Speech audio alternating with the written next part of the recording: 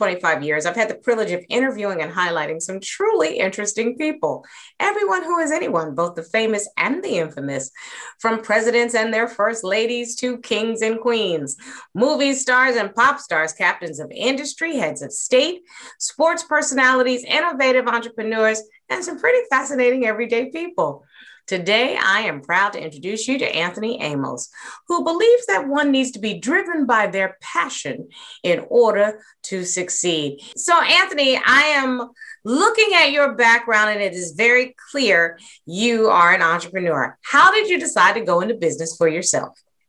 Well, it all sort of started very, young, which I didn't really know that it was going to be an entrepreneur. But um, I was really really engaged with rugby league, which is your American football over here.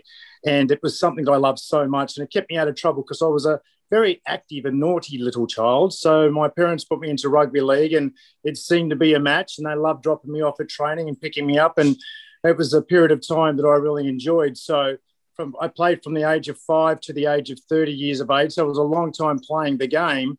But in high school, I excelled really well and I went from high school straight into professional football, which was a pretty big, pretty big deal back then. You know, going straight from high school straight to professional football, and I had a two-year contract, and it was, you know, it was a bit of a big deal. But then, what I started to realize when I was playing the game, I didn't like being told what to do. You know, ah, that's the sign of an entrepreneur, right there. It was now professional, and I was put into a basket, if you like. And if I wasn't, you know, fighting against my mates on the weekend to get the position to play the, you know, the um, position for where I wanted to play, then I didn't get to play the game on the weekend. So it sort of took the fun out of it as well. So what I decided to do was to um, go and purchase a hydro bath, which is something that you wash uh, a, a, dog or a cat, if you like, and I put it in the back of a garden trailer that I had in my backyard. And I went around and I started washing people's dogs for $10 a dog. And I pretty much turned into a very, very successful business. And all of a sudden, Hydrodog was uh, born.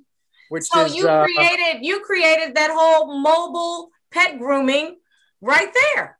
Yep, right there in Australia. Nobody had done it before. It was something that was done for the very first time and um, basically um, it turned into an absolute beast. I ended up having seven employees, so there were eight trailers on the road, and everything was going fantastic. But then we started to realize that if you don't have any skin in the game, then that's when you start to see some problems in your business. So when it rained, they weren't getting out of bed. They were staying at home and watching a movie. When they got mm. drunk on Friday night, they didn't go to work on Saturday mornings because they were hungover. And even one of the girls that got pregnant, they ended up leaving the business because they were having a baby. Uh-huh. So I was in this position where now what do I do? I've got this these people that haven't got the passion that I have in my business. So we ended up looking into what's franchising, which is yes. what everybody knows now to be a you know an incredible way to do business. How long ago uh, was this, Anthony? Well, we, 94 is when I started washing the dogs, and we ran the business for two years. And then it was about 96 we realized that you couldn't have employees. It just, oh. you, yeah, it took us two years to realize. I mean, you know, yeah, you have to have you. I agree with you. When you call it skin in the game, if you're going, you need business partners, people who feel like they're invested in the business. So once you realize that, tell me how you move the business to the next level. Well, basically, what happened is we ended up going. I went went back to one trailer. Um, now you've got to remember, it's a trailer that's towed to the back of a vehicle, so you drive around and you can take the trailer off and on. And that was just basically a hydro bath. Um, and what happened was once we went, once I got into the franchising side of things, I couldn't believe in my own mind that somebody would buy into my business that they could have gone out and done them themselves. But what I realized is I put all the systems in place. I put in exactly how you start from A all the way through to Z, and they just wanted a turnkey operation, and they were prepared to pay me for that. So they would pay me money. I would set up the trailer, set up their business model, get them up and running. And now they've got their own business, but we're working under the same brand. And now we've got two on the road, three on the road, 10 on the road. And before you knew it, I had 100 franchises. and, uh, it was just, it was an amazing time of my life. What made you decide to take the business to the United States? My wife, God bless her soul, who's unfortunately passed away not that long ago, but she um, she said, "You know Hydrodog so well. Let's go to America." So we came over to America and bought Hydrodog over here. And the long story short is, and the reason I have to say that, other we'd, have, we'd be here all day. We found out that 5,000 dogs get euthanized a day. Now let's think about that for a second. 5,000 dogs get put down every day here in America um, because of euthanasia.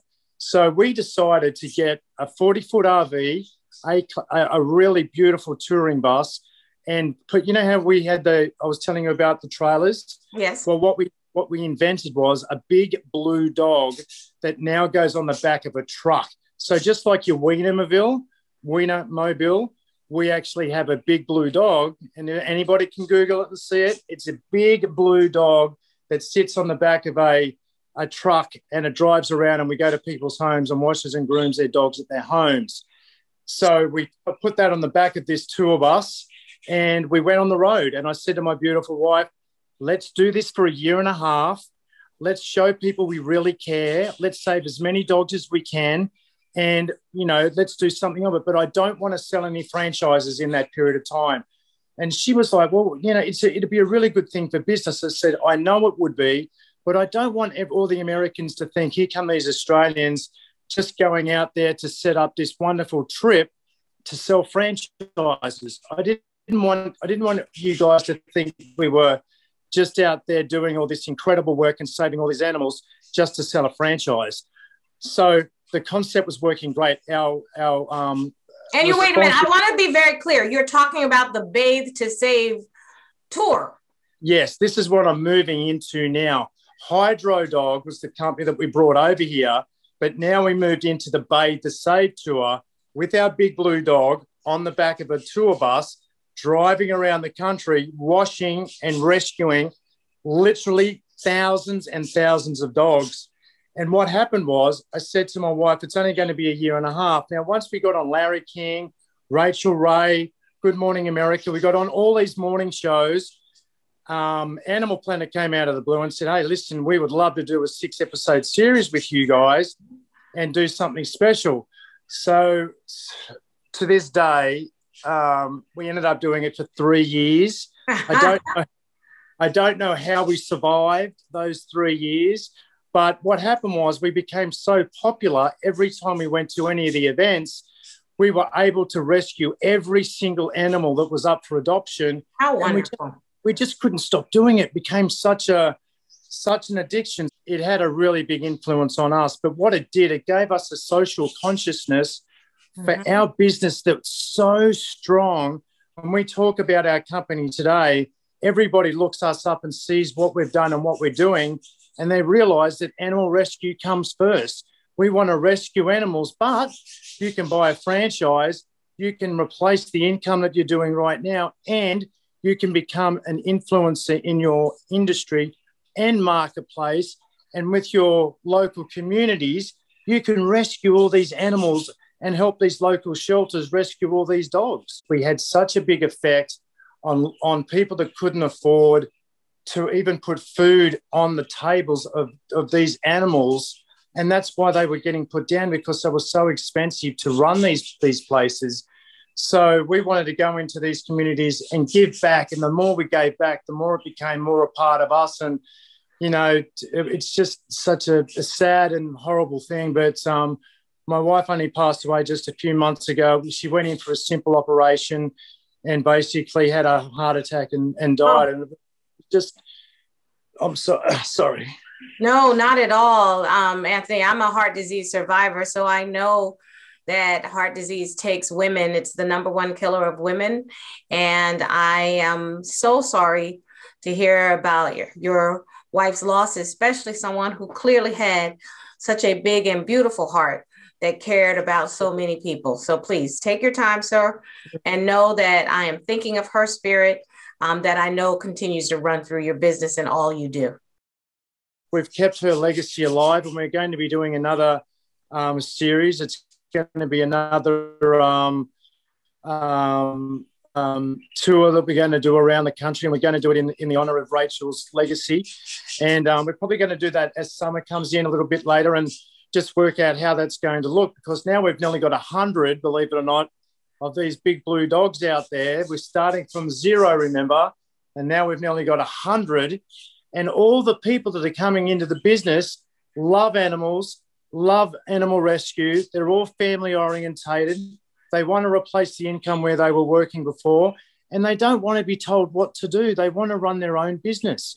So, um, tell me your future plans for Hydrodog. I know that we started with the master. That means there are 50 states in the United States. What's your plan?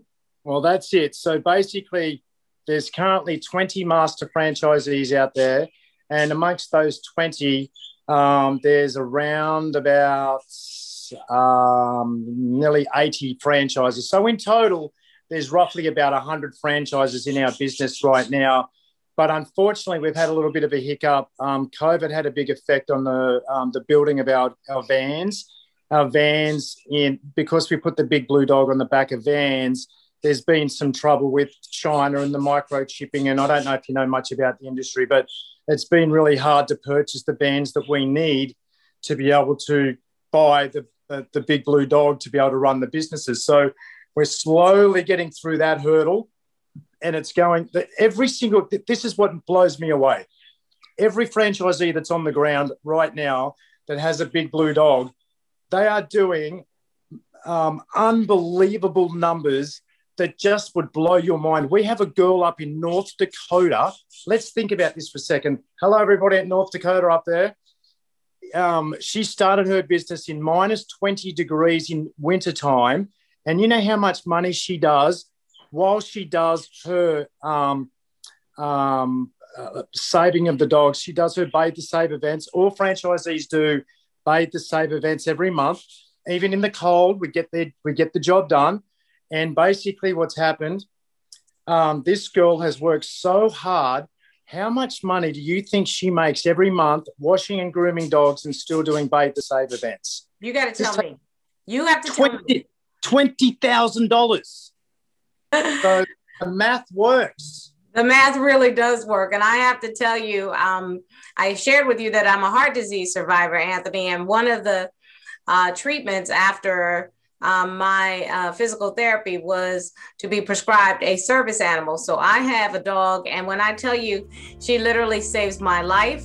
She literally saves my life. And so you are preaching to the choir right here, right now. In Rachel's memory, um, my best to your boys. Thank you, Anthony, for this really lovely conversation this afternoon. It has made my heart feel very good. Well, thank you so much for having me. And I can't believe the connection. That makes my heart smile. And it's so nice to end on that note. And thank you very much for having me. I appreciate it. And remember, get out there, don't shop, adopt. I love it. Thank you so much, Anthony.